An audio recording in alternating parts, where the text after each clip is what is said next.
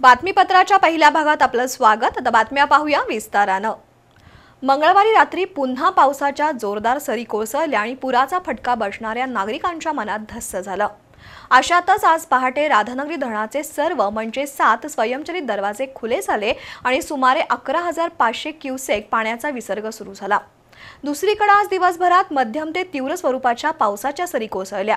पण त्याचवेळी अलमट्टी धरणातून साडेतीन लाख क्युसेकनं पाणी विसर्ग सुरू असल्यानं पंचगंगेची पाणी पातळी दिवसभरात संथ गतीनं कमी होत गेली.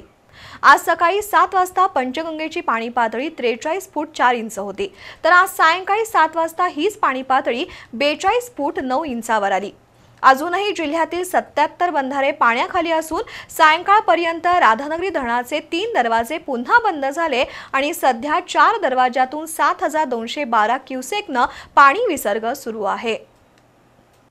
महापुराचा विळखा पडल्यानंतर आज सायंकाळी पंचगंगा नदीची पाणी पातळी धोका पातळीखाली आली आहे. आज सायंकाळी सात वाजता राजाराम बंधाऱ्यावर पंचगंगेची पाणी पातळी बेचाळीस फूट नऊ इंचावर आली आहे. दिवसभरात अवघ्या सात इंचानं पंचगंगेची पाणी पातळी कमी झाली. एकीकडं मंगळवारी रात्री कोल्हापूर जिल्ह्याला मुसळधार पावसानं झोडपून काढलं. आज दिवसभरही अधूनमधून पावसाच्या मोठ्या सरी कोसळल्या. तर धरणांच्या पाणलोट क्षेत्रात पावसाचा जोर वाढलाय.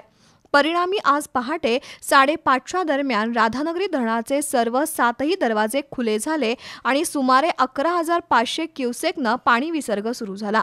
त्यामुळं आजची सकाळ पुन्हा कोल्हापूरकरांचं टेन्शन वाढवणारी होती. दुपारनंतर पावसाचा जोर काहीसा कमी झाला. तर मंगळवार रात्रीपासूनच अलमट्टीतील विसर्ग साडेतीन लाख क्युसेक करण्यात आलाय.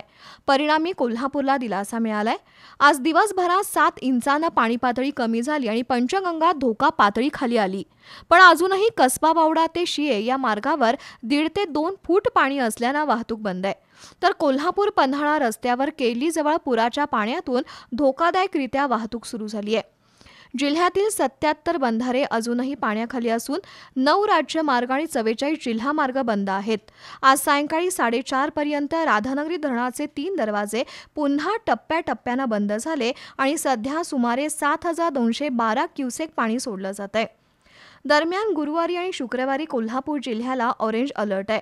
तर राधानगरी धरणाचं पाणी सुमारे आठ ते दहा तासांनी कोल्हापूर शहरापर्यंत येत आहे असा अनुभव आहे. त्यामुळं आज रात्री पुन्हा पंचगंगेची पाणी पातळी काहीशी वाढू शकते. पण पावसानं कृपा केल्यास आता महापुराचं संकट पुन्हा येणार नाही अशी आशा आहे.